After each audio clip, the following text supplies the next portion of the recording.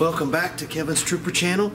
It's about, uh, oh, I don't know, six, almost seven o'clock. The sun's just starting to come up. We're getting ready to get started for the morning. The goal for today is to try to finish these things up, done with them, completed.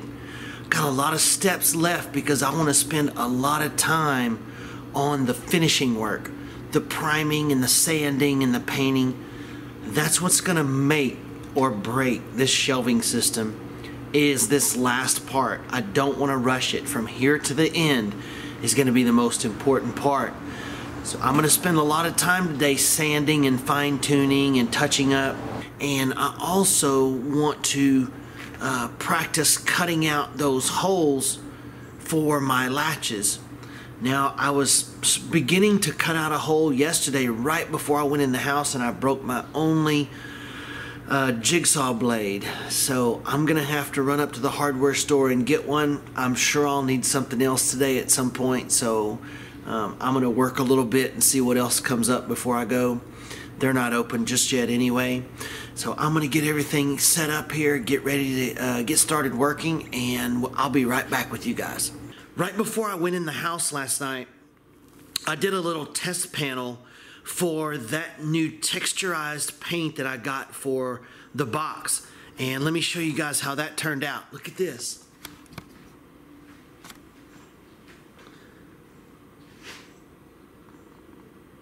Look how nice that is.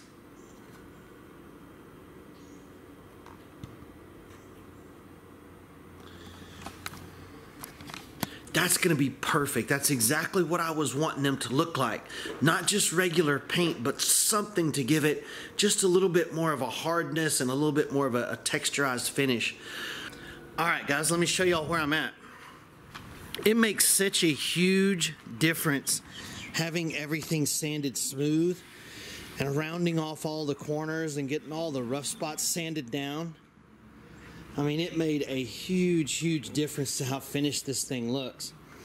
So what I'm gonna do now is I'm gonna go ahead and put the primer on the inside. I taped the uh, slides off. Now, if you guys are gonna do one of these on your own, tape the slides off before you start sanding. That was one of the mistakes that I made.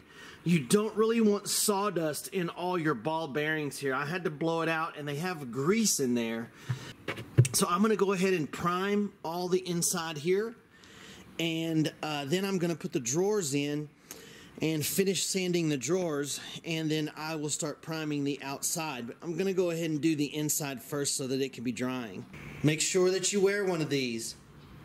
Take care of your health.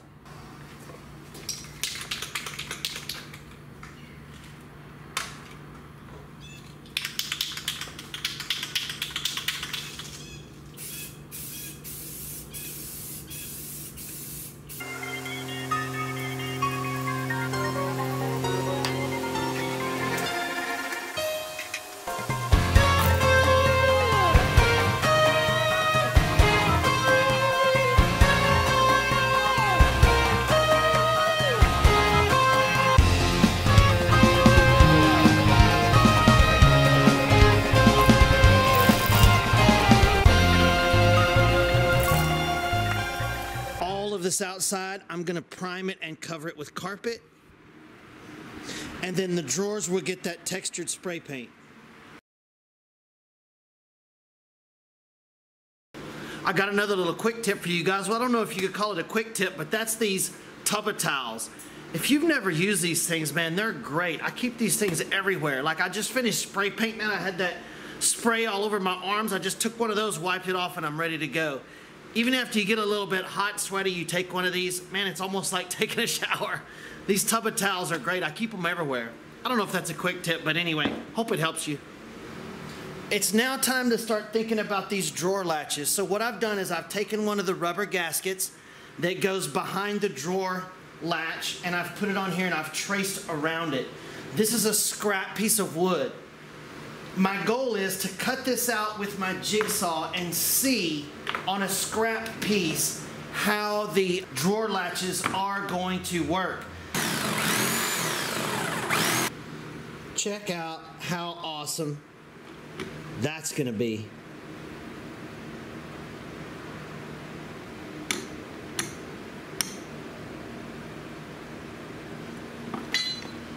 And now I know that is the shape that I need.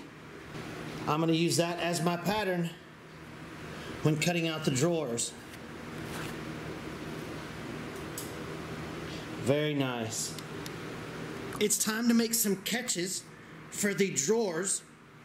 And my plan is to cut a piece of angle iron and screw to the upper part of the inside of the cabinet to give this catch something to latch onto. Little small piece of angle iron I'm going to cut and drill two holes in so I can screw it to the top of the cabinet.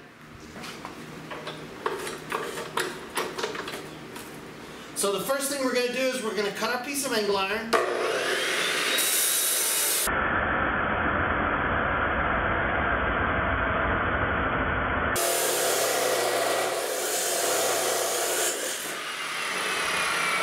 Then I'm going to drill two holes in it.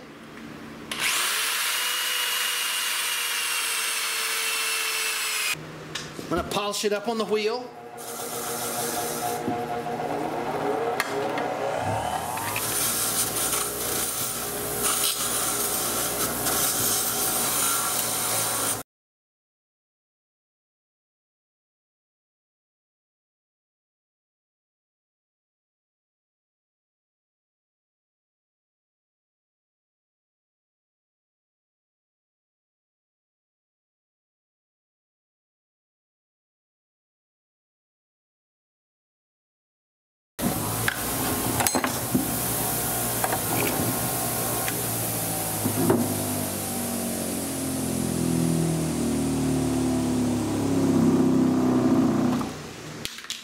Then I'm going to spray paint them with some acid etching primer. And there's my latches.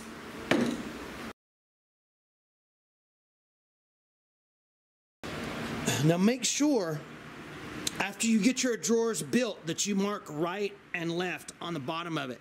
I just put an R on that one and an L on that one so that I don't get them mixed up. Once I pull them out to paint them, you want to make sure you're able to get them on the right side, especially if the measurements were just a little off or you, this the right drawer was built for the right side and the left drawer was built for the left side. So you want to keep them that way. You don't want to get them mixed up. All right, I'm still sanding on the drawers. Now, what I had originally wanted to be able to do was to take this carpet and wrap it around and staple it underneath. But I didn't think I would have room for the drawers to close. I thought it would interfere with the drawers closing. But if you'll look, I have enough of a gap all along here, except for maybe right here, which I'm sanding as we speak, in order for this carpet to go all the way down and wrap under. Otherwise, I was going to have to cut it on this line, and it was going to end up looking like that. And I didn't want it to look like that. I wanted to be able to wrap my carpet all the way underneath and staple it and have the drawer close on it like that. And I think I'm going to be able to do that. I'm super excited about that. That's going to work so much better. I'm just making sure that I have enough of a little gap. You see, I got a nice gap here, but this right there was a little tight. But after I sanded it, I think it's going to work out great. I might hit it just a little bit more just to make sure this drawer will close. All right, here is our latch. Check out how awesome that turned out. It locks, really nice. Now, I did make one little error in the back. If you guys will come right here, I can show you what that error was. Fortunately, it's very fixable, but this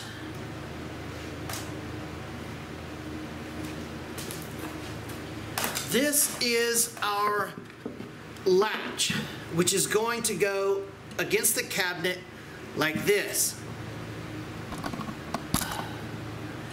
And the mistake that I made is I was thinking the inside of the cabinet is here. Well, it's not. It's down here. So I'm three quarters too high I could, should have put these three quarters of an inch lower than what I did. See, that's not going to work. So what I'm going to do, and this is going to fix this actually just fine, is I'm just going to trim this tab off a little bit at the tip so that when I put this piece of angle iron on the roof like this, on the on the ceiling of that opening, when this locks closed, it will be against the the latch like so.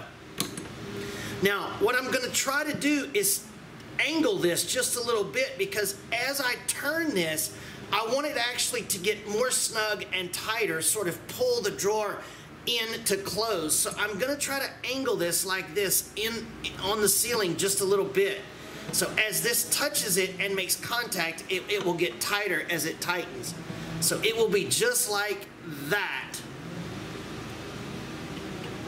Just like that.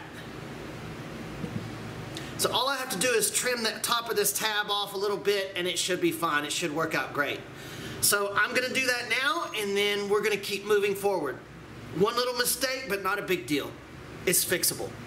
Okay, so what I just did was I held my carpet up there and I got the width that I needed and marked it. And I'm gonna start trimming the carpet so at least I won't have so much bulkiness to work with.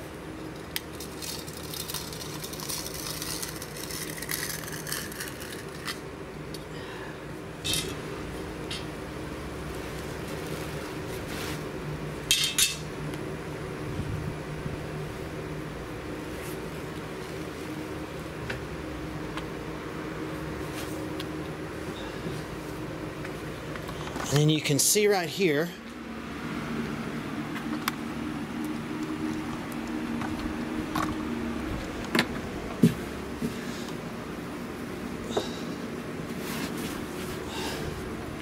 That's about what I need for the width.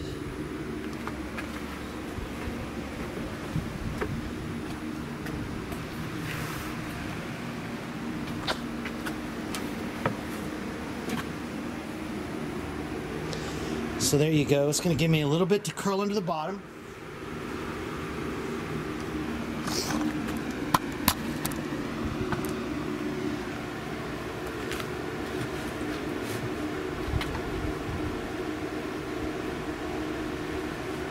And a little bit to fold under.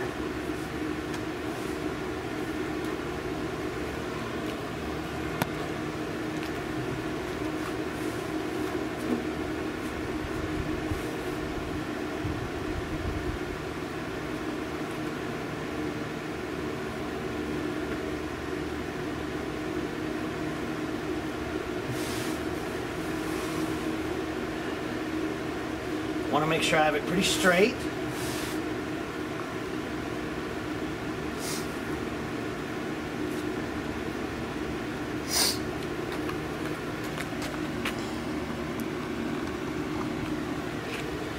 My goal here is I'm going to fold this half back and start gluing and stapling.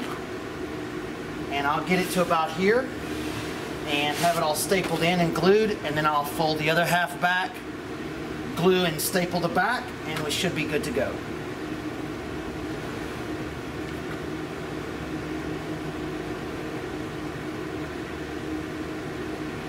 That looks pretty even right there.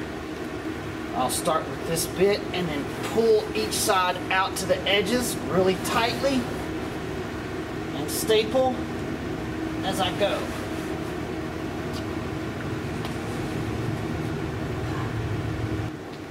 I'm going to be using a 3 8 staples and my new DeWalt staple gun.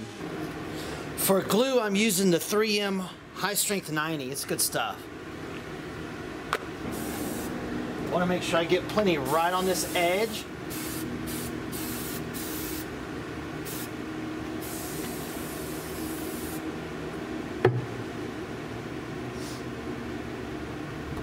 Give it a few minutes to get kind of tacky.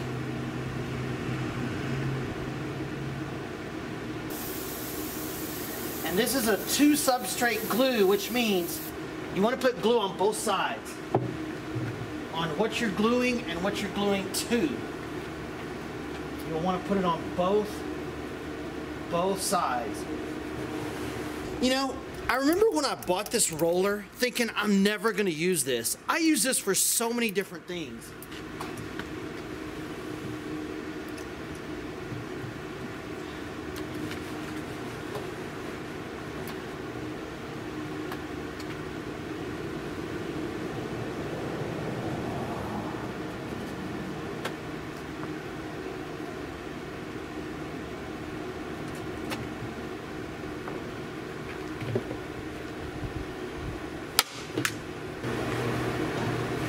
That glue is sticking well.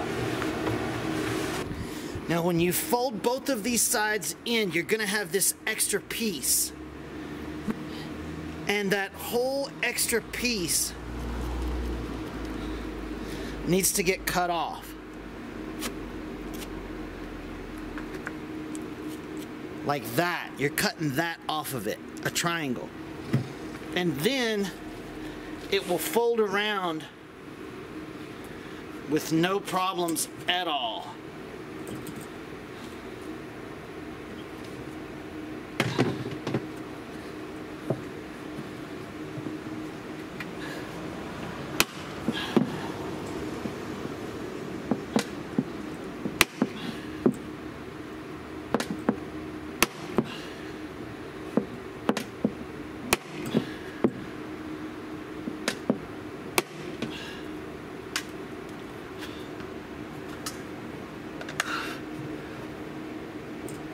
I just really hope my drawers close with this carpet folded around like this. That's the only question. Is I just really hope that they do.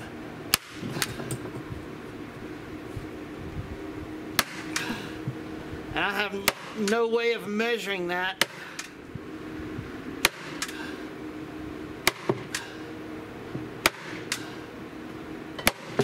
Other than do it see. I put a trial piece of carpet up and it seemed like it worked, but there's really no way to know for sure without just doing it. Love the stapler.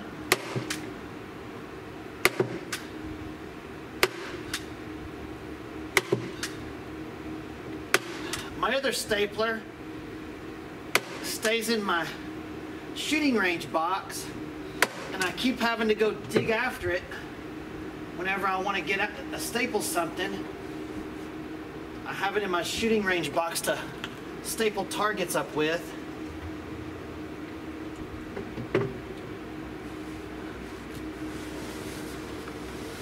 All right, check that out.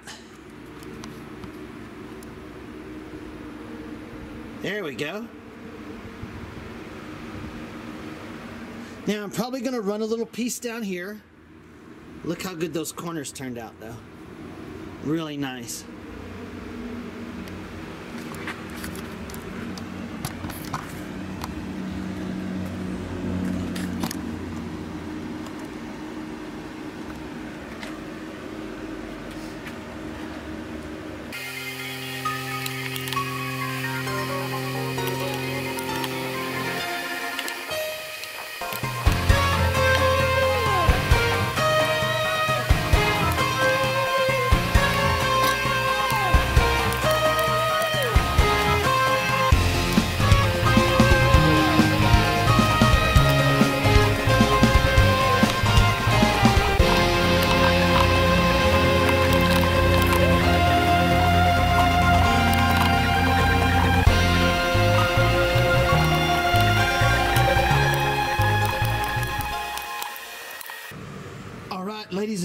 Check it out. Fully carpeted.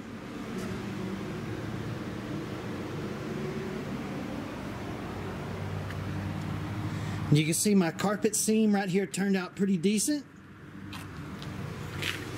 And you see my other one on this side. Turned out pretty decent too. This is against the back seat, so it really doesn't matter that much. Now, I started to try to run this carpet all the way down inside here, but what I decided to do instead is I'm going to get some rubberized coating, like some uh, diamond tread molded rubber. I have some over there, I'll show you. And I'm going to line this whole inside here to the bottom with a rubberized coating, uh, like a almost like a matting material. So that's not going to matter.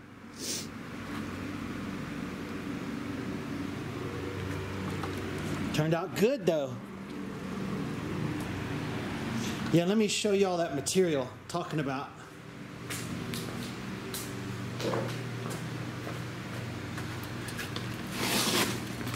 It is this stuff right here. How nice is that? In a future video coming up very soon, I'm going to line my roof rack toolbox with that. I've been saving that, but I'll give you guys a little sneak peek. I'm going to be lining that little bin and my roof rack toolbox with this stuff right here. Is that nice? Nice thick diamond tread rubber matting. So all I really have left to do is finish the painting on the drawers and it's all ready to go. Install the handles. I still have to install the little catch lock for the for the handle that I built. That's gonna take some time and some adjusting, I'm sure. And so I'm gonna put all this stuff away and edit some videos for you guys and we'll get to this next weekend. Thanks for joining me.